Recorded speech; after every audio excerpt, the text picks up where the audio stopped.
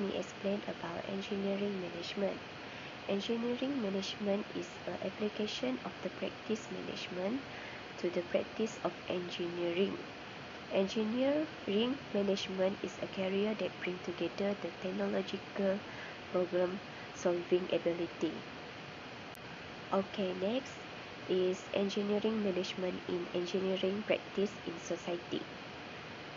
Project-based form of organizing development work a fundamental challenge for planner, engineer, and manager.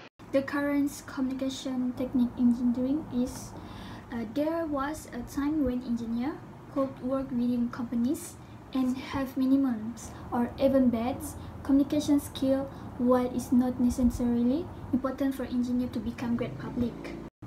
Okay, first, engineer need to sales, convince other of the merits of your case and furthermore build confidence in your perspective as a professional is about relationship between relationship buildings. As engineer who can prepare and deliver a clear, concise, and believable message will come across well.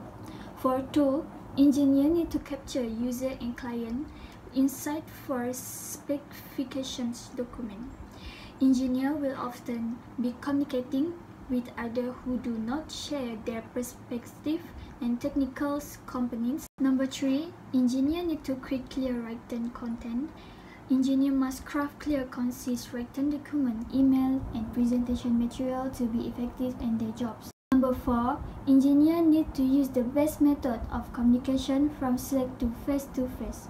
The best way to deliver or how to understand a painful message is to do it face-to-face -face or via phone and video conference. Number 5. Engineer need to present in front of group. As engineer advance either in line or into management, it will increasingly be important to them to able to present idea from uh, audience. Often an engineer have difficulty with such anxiety intentions are natural.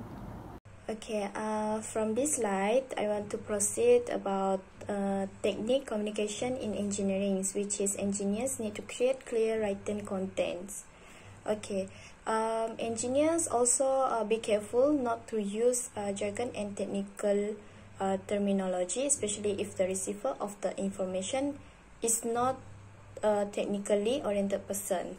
Okay for the next is engineers need to use the best method of communication which is this is the best way to deliver a hard to understand or painful message is to do it face to face if there is any uh, reluctance to tell the story face to face, ever retreating into electronic form where the item can be easily uh, or delivered from a protected distance. Okay, for the last is engineers need to present in front of groups.